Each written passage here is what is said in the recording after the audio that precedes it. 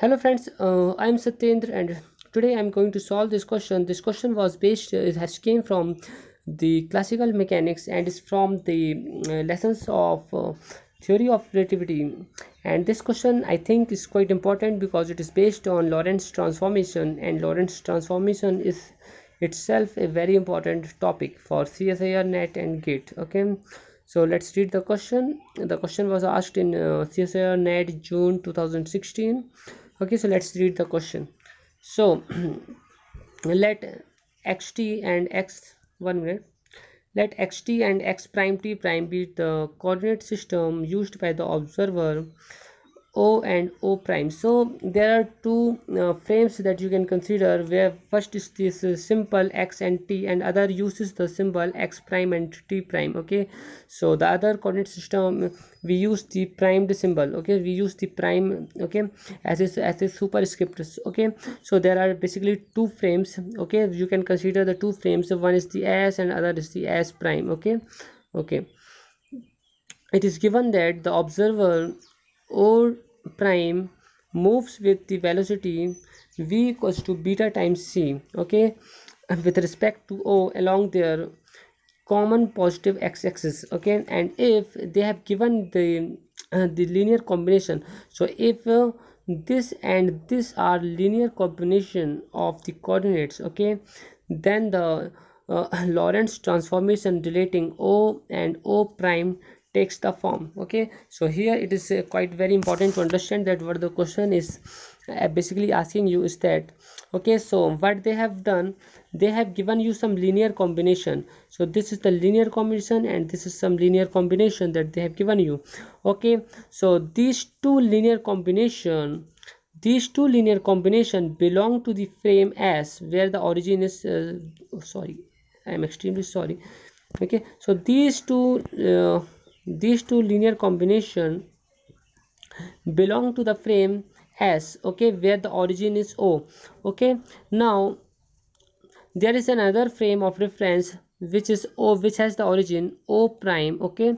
And in this uh, frame of reference o prime there will also be the corresponding linear combination for these. So for this and this the linear combination that will exist in the frame s prime where the origin is o prime there will be the linear combination should be like this okay?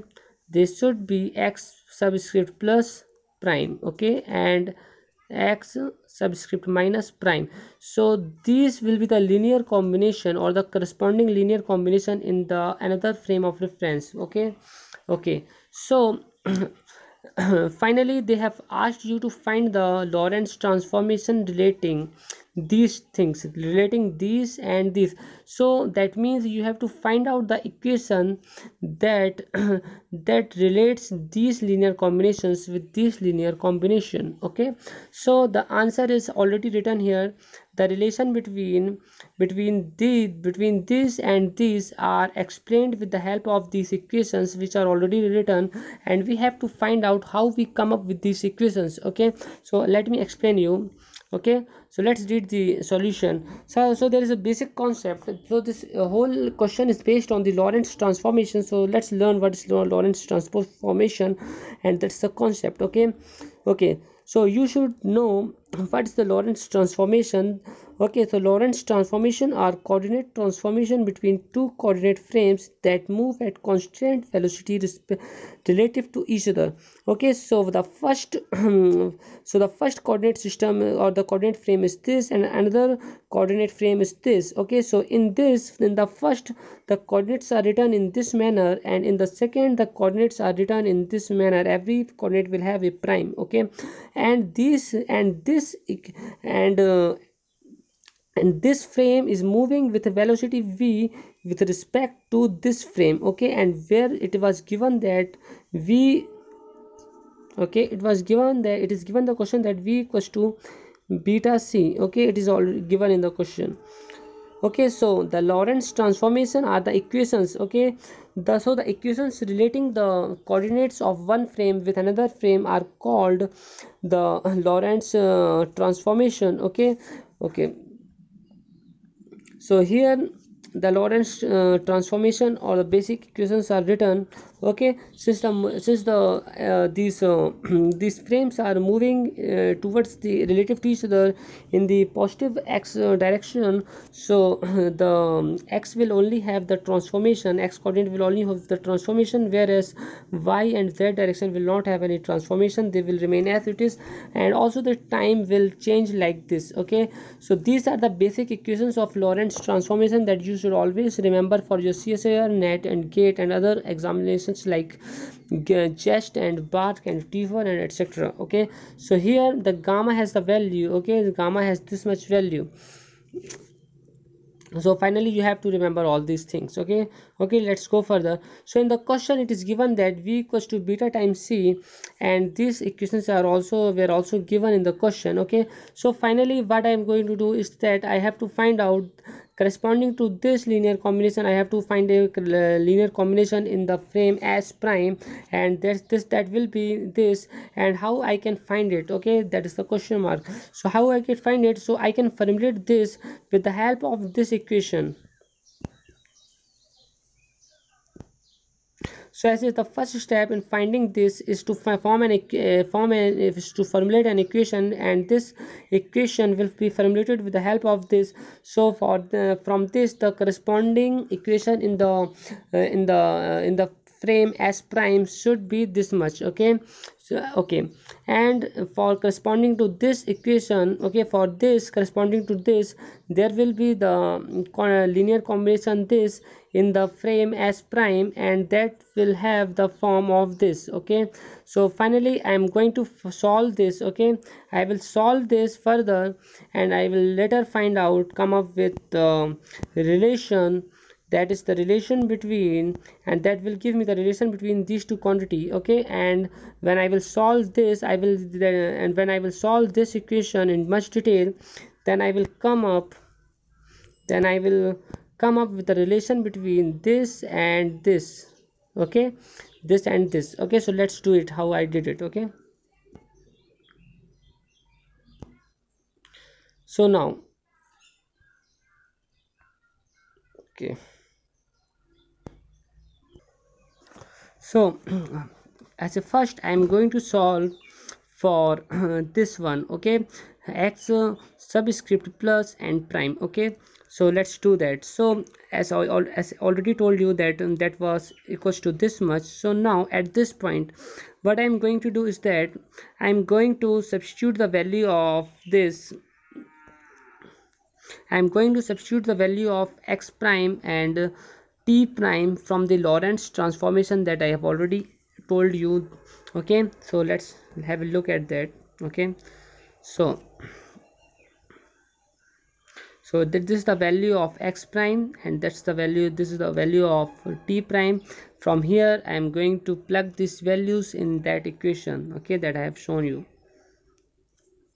Okay so here i have plugged the values okay? So here the values is plugged and here the value is plugged okay?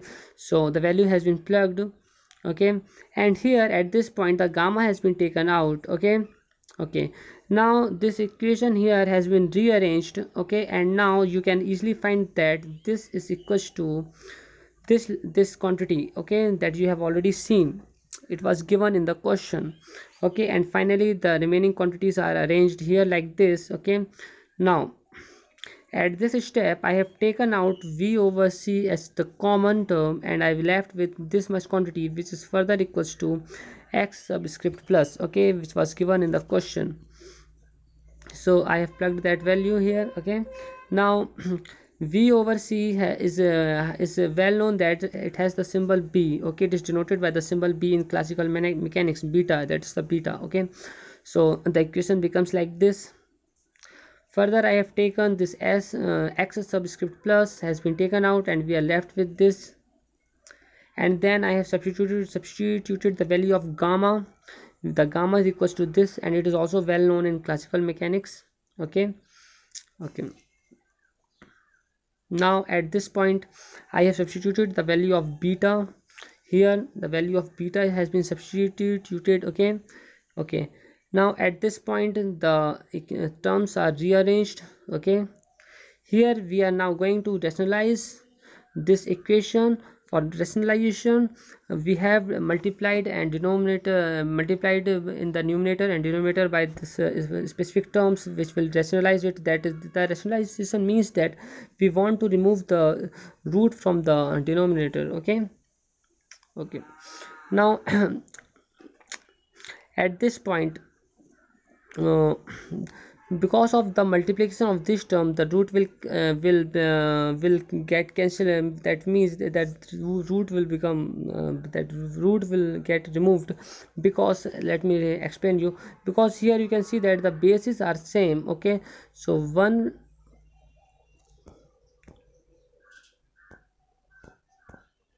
so that is 1 minus beta square. This is a common in both so 1 by 2 plus 1 by 2 okay said. So this will become 1 and that it is not necessary to write the 1 so here it will become like that. Okay okay.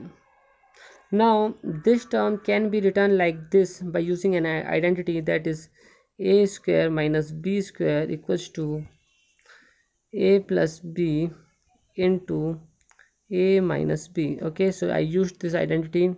Okay so when i wrote it like that this and this got cancelled out okay? I left with this much term okay? Now this can be further written like that okay? Okay. And now this term can be written in this fashion because if you solve this then you will again get this okay? Okay. From here also things will get cancelled out okay? So here this and this will get cancelled out okay? And then we will be left with this.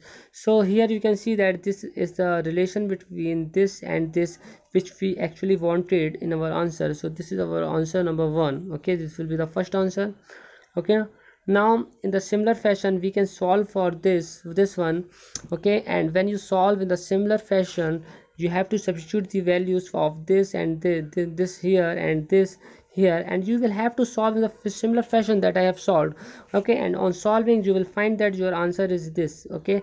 And so this is your answer in this way okay? Thank thanks for watching this video okay? Thank you very much